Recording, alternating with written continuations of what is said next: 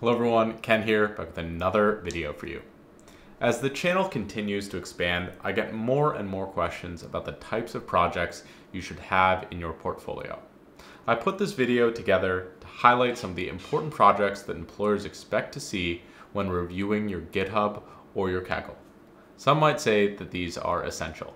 Each of the types of projects that I walk through shows them something about your capabilities as a data scientist. A quick aside, NVIDIA has been nice enough to give away three free tickets to their virtual GPU technology conference that's happening October 5th through October 9th. This conference uncovers the latest breakthroughs in a wide range of topics, including AI and accelerated data science.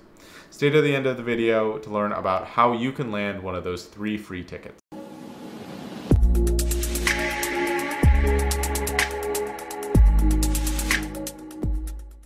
The first project that you want to include is an exploratory data analysis. Especially if you're newer to data science, this project makes a lot of sense to start exploring with. EDAs show that you're comfortable telling a story with data. The majority of data science is cleaning data, creating pipelines, and doing feature engineering. You can clearly showcase these skills with your project here. I recommend working with some messy data for this type of project. Ideally, you'd scrape your own data or you'd pull it down from an API. The second project is one where you create a classifier to predict a binary or a categorical outcome. A prime example of this would be the Titanic dataset, where you're trying to predict if someone on the ship survived or not.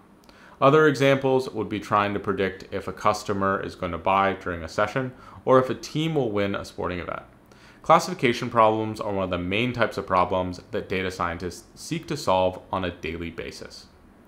One way to spice this up a little bit is to use the predicted probabilities associated with some of the different types of models, specifically logistic regression and random forest or XGBoost.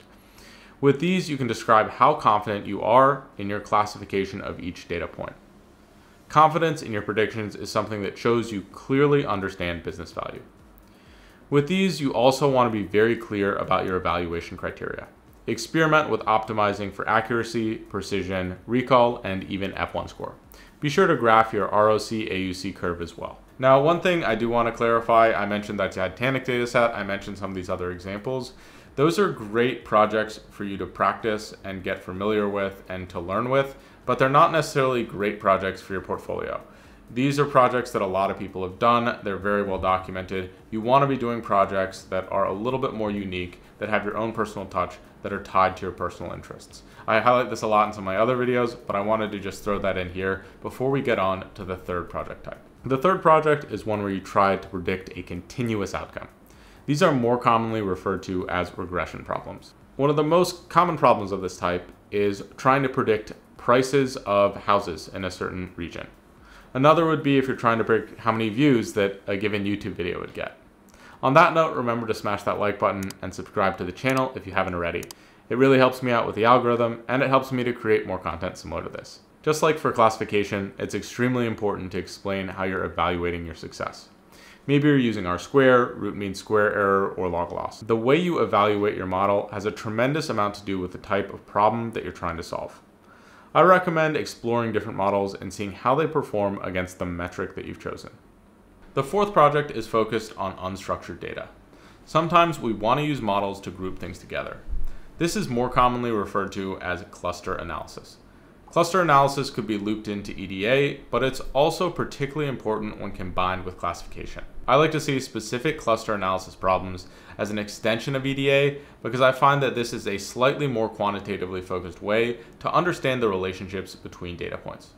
It's also important to better understand relationships between your features and principal component analysis or factor analysis can be valuable there as well. A good example of cluster analysis is if I wanted to see which professional golfers played similar games. So I would use something like a k-means cluster analysis based on their performance across a couple different key areas of their game and that would group them together based on how many groups I wanted to see and based on you know the elbow method or seeing what the number of groups with the most differences was. From that, I could use those to say, hey, which type of golfer plays well at a specific course or at a specific venue? And there's additional value created with that. Also, if a new professional golfer comes on the tour, I could tell you which cluster they fell into. And that might be very interesting or very valuable when we're trying to predict how well they're going to play over the course of a season. The fifth and final project is where I believe you should focus on some more advanced techniques. I recommend exploring NLP, computer vision, or deep neural nets. This can be stretching outside of your comfort zone, but to me, these types of analysis will be part of the normal data science toolkit in the next few years. If you specialize in one of these areas, I also believe it makes you far more desirable in the job market. A fun example of a computer vision project is I saw someone who built a model that counted every push-up he did. One, two, three. That was kind of fun and interesting. It was relevant to his life. He didn't have to waste that, that brain energy.